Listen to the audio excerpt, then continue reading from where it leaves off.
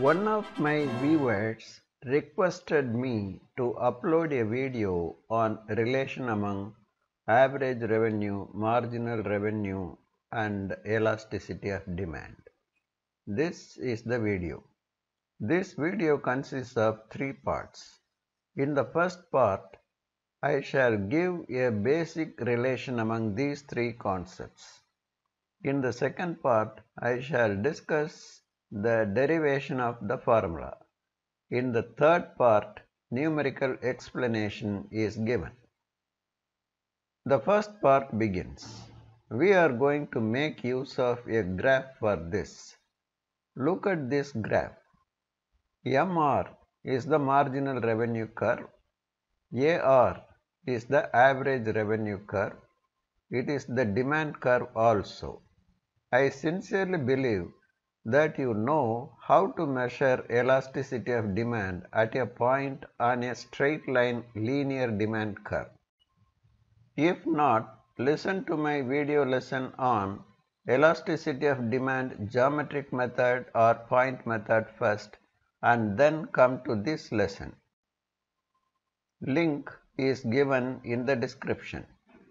Three basic things that you are expected to know at the very outset are 1.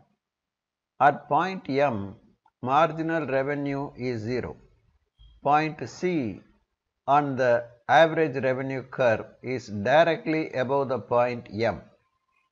Point C is at the center of the average revenue curve. Exactly at that point, elasticity is unitary. 2.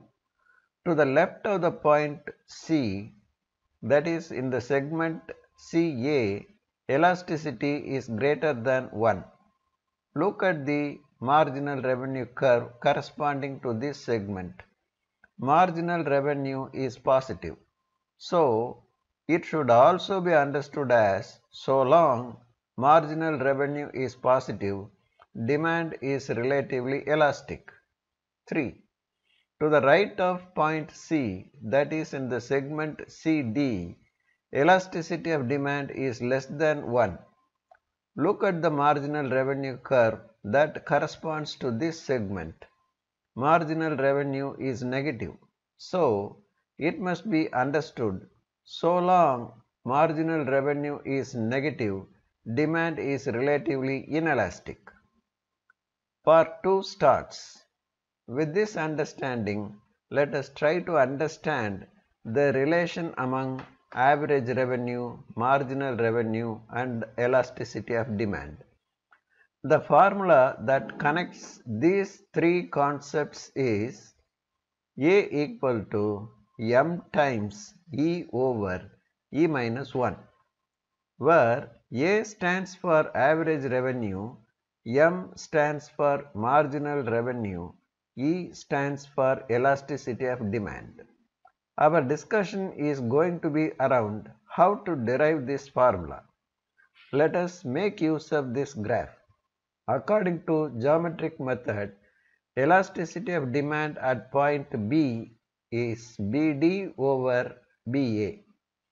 BD is the length of lower segment of the demand curve. BA is the length of the upper segment of the demand curve. From the lengths of BD and BA, we do not get any idea about average revenue and marginal revenue. So, we have to find some means to incorporate average revenue and marginal revenue in our formula. How? That is what we are going to see here. Since it involves mathematics, follow very closely. Let me also try to make it as simple as possible. Take triangles ACB and BED. Angle ACB is equal to angle BED right angles. Angle CBA is equal to angle EDB corresponding angles. So, triangles ACB and BED are equiangular. Therefore, BD can be replaced with BE, BA with AC. The formula BD over BA can be written as BE over AC. Now take triangles ACG and GBF. Angle ACG is equal to angle GBF, right angles. Angle AGC and angle BGF vertically opposite angles. They are equal. So, triangles ACG and GBF are identical because all angles are equal and all sides are equal. AC is equal to BF. Therefore, AC can be replaced with BE. The formula BE over AC can be written as BE over BF. BF is equal to BE minus EF. BF can be replaced with BE minus EF. Our final formula is elasticity of demand equal to BE over BE minus EF. Now it is time for us to introduce average revenue and marginal revenue. The height of BE represents average revenue. The height of EF represents marginal revenue. Let us use A for average revenue, M for marginal revenue. Again, let us use E to represent elasticity of demand. Using the new symbol A and M and write the formula E equal to A over A minus M. Rearranging we get E times A minus M equal to A. EA minus EM equal to A. Bring A to the left hand side. EA minus EM minus A equal to 0. Take minus EM to the right hand side. EA minus A equal to EM. Rewrite by taking A as a common factor on the left hand side.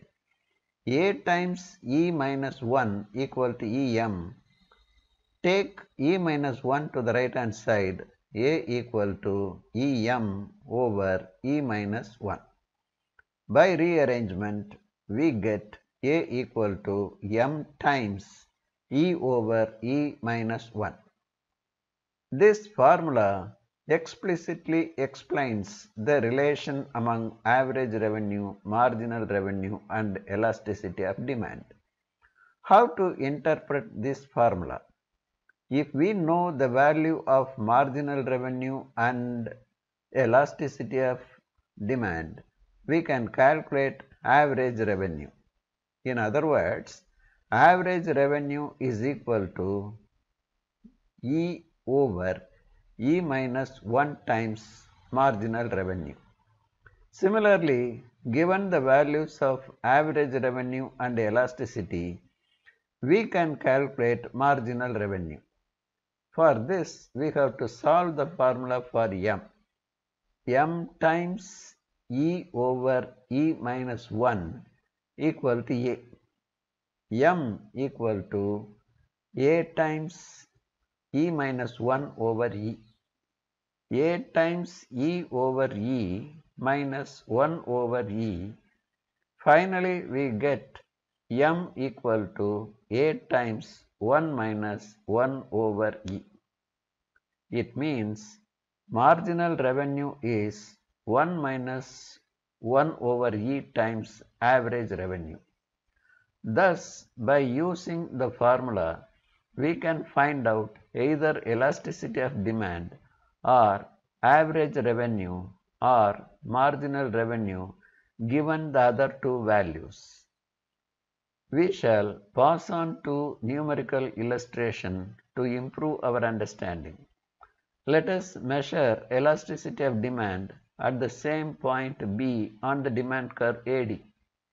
We shall use the basic geometric method formula first. Elasticity of demand equal to lower segment of the demand curve over upper segment of the demand curve. BD over BA. The length of BA is 5 units, length of BD is 10 units. 10 over 5, 2. Elasticity of demand is 2.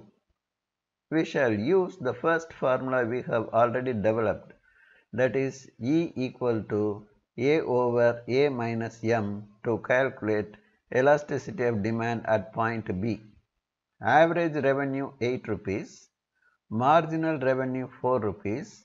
By substituting these values in the formula, E equal to 8 over 8 minus 4, 2. Elasticity of demand 2. Relatively elastic demand. We shall use the formula average revenue equal to E over E minus 1 times M to calculate average revenue at point B. At B, elasticity of demand is 2. Marginal revenue is 4. Substituting these values in the formula, 2 over 2 minus 1 times 4, 8. Average revenue is 8 rupees.